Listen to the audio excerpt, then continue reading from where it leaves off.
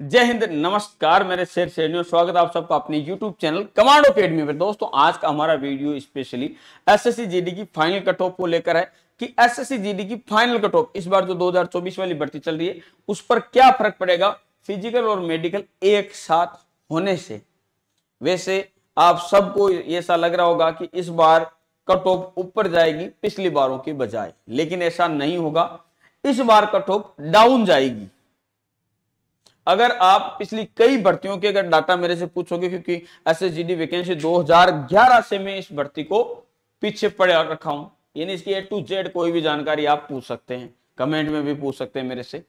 तो लाडलो मैं आपको बताऊँ कि एस एस जी डी में आज से आज तक हर एक वैकेंसी में पोस्ट ऑफ़ वैकेंसी खाली रह जाती है, दो हज़ार, ढाई हज़ार, पंद्रह सौ, दो हज़ार, ढाई हज़ार, पंद्रह सौ। हर बार उसके पीछे जो लॉजिक काम करता है, वो रहता है फ़िज़िकल कट ऑफ़ और मेडिकल कट ऑफ़ अलग अलग आना। इससे होता क्या? मान के चलो कि दो छात्र है, या कोई भी दो विद्यार्थी या दस विद्यार्थी है, मान के चलो। वो फाइट करके मान के चलो, आगे पाँच पोस्ट है, उदाहरण के लिए समझना। पाँच पोस्ट है, दस विद्यार्थी है। दस में से पाँच पोस्ट के लिए सात बच्चों को बुलाया गया। उनमें से तीन मेडिकल के लिए फिट हुए और चार फेल हो गए। तो आगे पोस्ट कितनी फिल हुई? केवल तीन। दो खाली रह गई।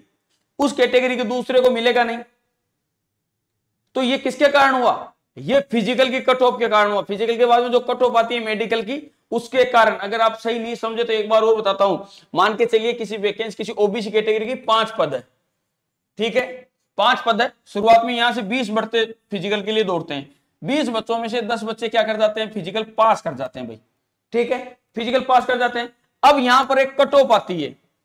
तो कट ऑफ़ आती है तो हर बार कितना गुना करते हैं? पदों के ढाई गुना कि यार हम इतने बच्चों को ही पास करेंगे। क्यों? मेडिकल के लिए। सिर्फ़ ढाई गुना बच्चों को ही पास किया जाता है। तो अगर मान लो दस है, या यहाँ पद कम कर ले उदाहरण के लिए, आप समझना कि दस में से कुल मिला के दो गुना, यानी पद है मान लो पाँच, यहाँ पर मान के चलो ये संख्या तीस है, यहाँ पर बीस हो। ठीक है कि बीस क्वालिफाई करके इसमें से ढाई गुना, लगभग दो गुने से थोड़ा सा ज़्यादा तो मान के चलो यहाँ पर पंद्रह बच्चे पास किए। अब मेडिकल में मान के चलो कि चार बच्चे ही फिट हुए। ग्यारह अनफिट हो गए तो एक पद खाली रह जाता है। ये एक एक पद बन बन के बन बन के बन बन के फिर कितना रूप ले लेते हैं? पंद्रह सो दो हज़ार। और आप बताऊँ, पच्चीस हज़ार की पदों की जो भर्ती थी, पच्चीस हज़ार दो सौ इकहत्तर पदों पर जो भर्ती आई थी, इससे पहले वाली, उस वैकेंसी में भी जो फुलफिल हुए थे, वो तेबीस हज़ार सात सौ कुछ पद ही हुए थे। बाकी पद खाली रह गए थे। और वो कट ऑफ़ के कारण रह जाते हैं। कई बार एस कैटेगरी में क्या होता है या एस कैटेगरी में क्या होता है, मान के चलो दस बच्चे हैं, इधर दस पोस्ट है, यहाँ पर आते हैं तो बच्चे जब, मान के चलो पाँच पद है, दस बच्चे फिजिकली क्वालिफाई हुए कट ऑफ़ में से यहाँ पर छह बच्चे निकलते हैं, फिर मेडिकल फिर तीन ही हो पाते हैं। तीन रह जाते हैं तो वो तीन पद खाली रह जाते हैं। तो अगर ये साथ में आती है, इसका मतलब है कि कोई भी पद खाली नहीं रहेगा, आप पता है मेडिकल और फ़िज़िकल दोनों साथ में होंगे इस बार। इसका मतलब यह है कि एक भी पद खाली नहीं रहेगा। एक एक्स सर्विसमैन को छोड़कर। और उनके पदों को रिज़र्व नहीं किया जाता है। समझ गए? वो पद डिवाइडेड हो जाते हैं बाद में।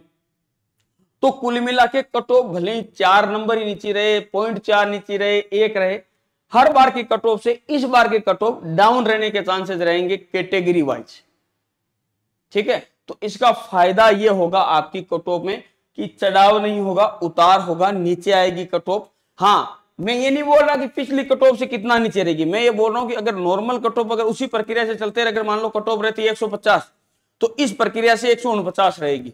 इतना फ़र्क पड़ जाएगा। क्योंकि कोई बच्चा पहले पेपर पास होगा, फिर बाद में वो फ़िज़िकल कट ऑफ़ में जो बच्चे छट जाते हैं, और मेडिकल जो पास होते हैं, उसमें से कई ऐसे बच्चे होते हैं जो फिर मेडिकल में छट जाते हैं। लेकिन फ़िज़िकल में जो छट गया, वो तो मेडिकल में नहीं आ सकता डायरेक्ट तो इस चक्कर में उसके नंबर खाई जाते हैं।